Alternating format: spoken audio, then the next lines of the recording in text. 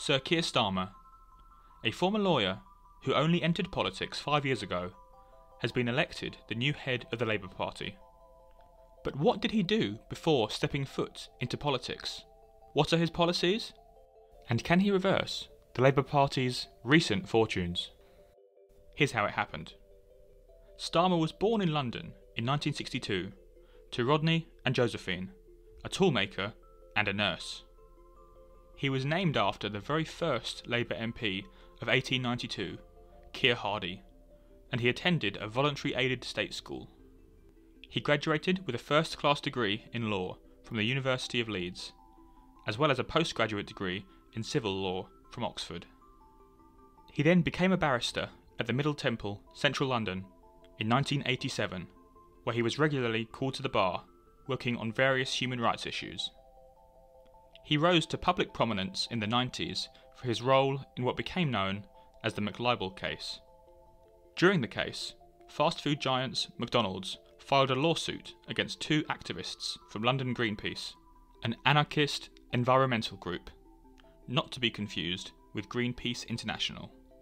These two activists stood on the Strand in London distributing hundreds of brochures making derogatory claims about the restaurant's food and treatment of its staff and the environment. A young Starmer volunteered to represent the activists free of charge, given that they could not afford the legal fees involved. The judge's ruling found several of the allegations in the brochures to be true, around false nutrition claims and health risks of long term customers, but did not prove some allegations, such as those of the corporation's rainforest destruction and poor working conditions. The defendants were eventually ordered to pay £60,000 in damages later reduced to £40,000 on appeal. Over the course of the case, McDonald's spent millions in legal fees and private investigators and gained bad press on an international scale, while the defendants only made use of Starmer's pro bono aid, all to result in just a marginal legal victory for the fast food chain, which was ultimately seen as a huge moral victory for Starmer and his defendants. The lawsuit even spawned a feature length documentary, which is widely available to view on YouTube. Starmer continued to practice law and was appointed to represent the Queen's Counsel in 2002. In 2007, he was named QC of the Year by the UK Legal Directory. Only a year later, he was named Director of Public Prosecutions and Head of the Crown Prosecution Service, which oversees all criminal cases in England and Wales, making him one of the most influential lawyers in the UK.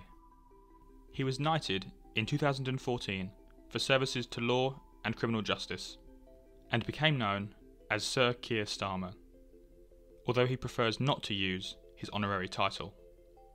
The following year, Starmer embarked on his political career path. As long standing Labour MP for Holborn and St Pancras, Frank Dobson retired, and the party chose Starmer as his replacement. A number of his followers then encouraged him to run against Jeremy Corbyn in the party's leadership election later that year but he declined, citing his insufficient political experience. He took on several different ministerial positions in Corbyn's shadow cabinet, including Shadow Minister for Immigration and Shadow Brexit Secretary. But that's not to say he was a dedicated fan of Mr Corbyn, as at one point he did resign from the cabinet in protest over the party's leadership in 2016. After the Conservatives' landslide victory in the election at the end of 2019, Labour was looking to move in a new direction, and it was decided that direction would be with Starmer at the forefront, as he was elected leader by party members in April 2020.